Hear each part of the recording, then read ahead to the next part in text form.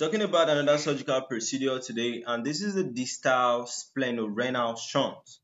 Now, looking at this word, you could see the word was splenorenal.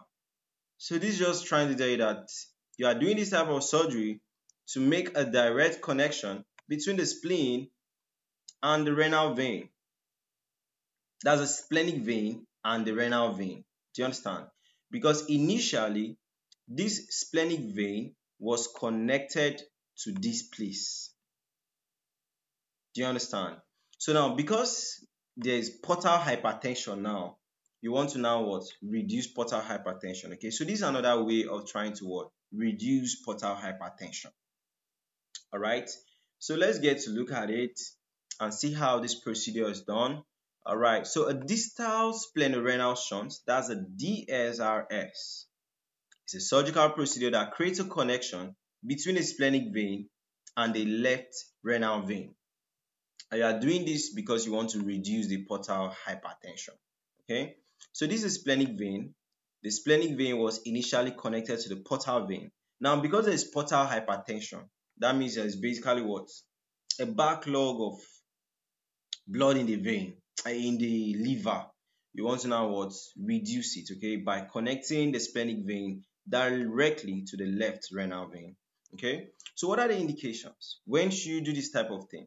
Can you see this? Can you see that the the the, the, the veins here have one characteristic they are they are like like that. Okay, this is variceal bleeding. If there's refractory ascites, there's hepatic hydrothorax, if there's portal hypertensive gastropathy, and there's a Budd-Chiari syndrome okay, where there is a blockage of the blood supply due to a thrombus formation, right? The contraindication when you shouldn't do this type of um, thing, it is a severe liver dysfunction, it is portal vein thrombosis, the hepatic vein thrombosis, it is renal failure, the splenic vein thrombosis, right? Shouldn't do this type of thing.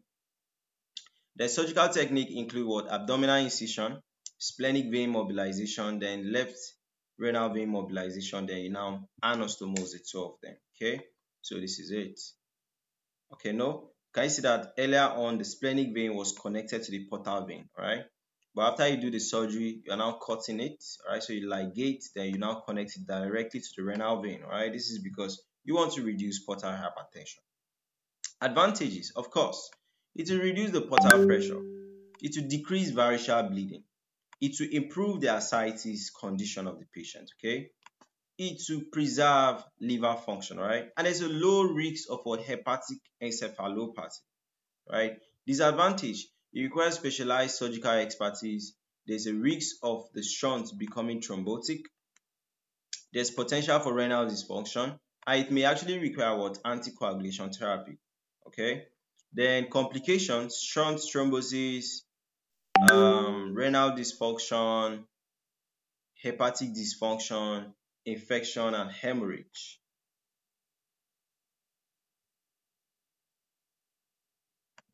All right, so I think that's it for this um, distal splenorenal shunt and why this surgical procedure is even done in the first place. Okay, so that's it. Bye for now.